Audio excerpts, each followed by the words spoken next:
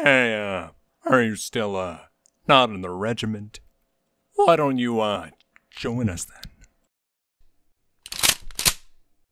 Hey, hey, that's not an offer.